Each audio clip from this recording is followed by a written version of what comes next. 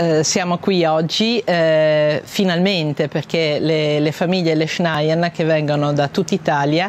hanno la gioia di poter provare a, ad avere una presa in carico più globale eh, per questa rarissima malattia di cui troviamo sul territorio italiano poche competenze sparse e, eh, e